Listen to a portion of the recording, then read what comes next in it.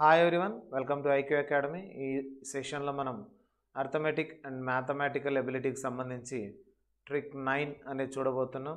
So ఈ trick కూడా చాలా యూజ్ అవుతుంది కాంపిటేటివ్ ఎగ్జామ్స్లో అండ్ ఐసెట్ ఎగ్జామ్స్లో సో సింపుల్ ఇంట్రెస్ట్కి సంబంధించిన క్వశ్చన్ ఇది.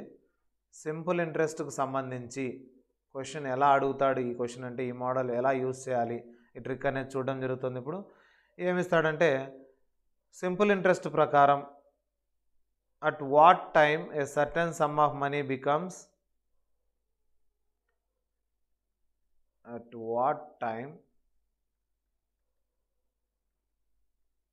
a certain sum of money becomes t times so ఇన్నిసార్లు కావాలంటే అంటే two టైమ్సా three times four times అవుతుంది అది ఏ టైంలో ఎన్ని ఇయర్స్లో టైం అంటే ఎన్ని ఇయర్స్లో? ఎన్ని ఇయర్స్లో ఫోర్ టైమ్స్ అవుతుంది ఫైవ్ టైమ్స్ అవుతుంది సిక్స్ టైమ్స్ అవుతుంది అని క్వశ్చన్ అడుగుతాడనమాట. సో డబుల్ కావడానికి ఎన్ని ఇయర్స్ పడుతుంది ట్రిపుల్ కావడానికి ఎన్ని ఇయర్స్ పడుతుంది? సర్టన్ సమ్ ఆఫ్ మనీ ఒక సమ్ ఆఫ్ మనీ ఇంత కావడానికి ఎంత టైం పడుతుందంటే డైరెక్ట్ డైరెక్ట్ ఫార్ములా వచ్చేస్తే టీ టైమ్స్ అని అడిగితే T minus one into hundred divided by rate of interest. Capital R కానీ స్మాల్ ఆర్ కానీ మీరు ఏదనుకుంటే అది వేసేస్తే డైరెక్ట్గా ఆన్సర్ వచ్చేస్తుంది. సో టీ మైనస్ వన్ లేదా ఎక్స్ టైమ్స్ అనుకుంటే ఎక్స్ మైనస్ వన్ ఇది ఎన్ని టైమ్స్ అయితే అట్లా. ఎక్స్ టైమ్స్ అనే క్వశ్చన్ అయితే X minus one into hundred divided by R లేదా ఎన్ టైమ్స్ అని క్వశ్చన్లో ఉంటే ఎన్ని టైమ్స్ ఉంటే అంత? ఎన్ మైనస్ వన్ మీకు ఏది ఈజీ గుర్తుంటుందంటే అలా into hundred divided by R ఇది రేట్ ఆఫ్ ఇంట్రెస్ట్ కాదు.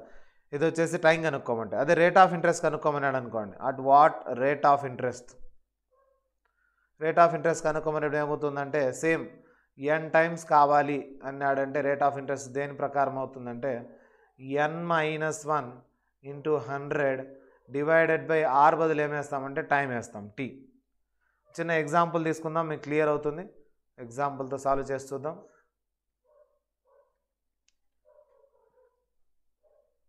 in how many years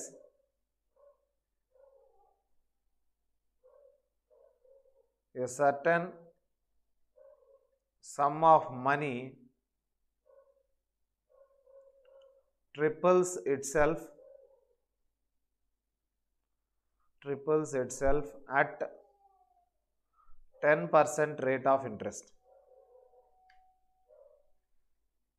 question ఇలా ఇచ్చాడు సో ప్రాబ్లం ఎలా చేయాలి దీన్ని?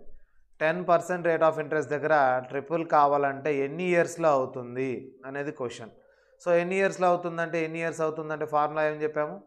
N minus one into hundred divided by rate of interest అన్నాడు ఎన్ని టైమ్స్ కావాలన్నాడు క్వశ్చన్లో చూడండి. ఎన్ని టైమ్స్ ఇక్కడ? ట్రిపుల్స్ అంటే three times. Three minus one into hundred divided by rate of interest. Ten. Zero zero cancel పోతే three minus one two two into ten twenty. So twenty ఇయర్స్లో అయిపోతుంది. ట్వంటీ ఇయర్స్లో టెన్ పర్సెంట్ రేట్ ఆఫ్ ఇంట్రెస్ట్తో ఒక some వచ్చేస్తే triple అయిపోతుంది. ఇంకో example దీనికి సంబంధించిన ఎగ్జాంపుల్ తీసుకుందాం. ఏ రేట్ ఆఫ్ ఇంట్రెస్ట్ అన్నప్పుడు ఏమంటారంటే certain sum of money same దీనిలాగే four times అవ్వాలంట. ఫోర్ టైమ్స్ అవ్వాలి. సో టైం వచ్చేసి ఎంత ఇచ్చాడంటే టెన్ ఇయర్స్లో ఫోర్ టైమ్స్ కావాలంటే ఎంత రేట్ ఆఫ్ ఇంట్రెస్ట్కి ఇవ్వాలి అని క్వశ్చన్ అడుగుతూ ఉంటాడు. సో సేమ్ ఫార్ములా ఎంత రేట్ ఆఫ్ ఇంట్రెస్ట్ కావాలంటే N minus one into hundred divided by T ఎన్ని టైమ్స్ కావాలన్నాడు? Four times.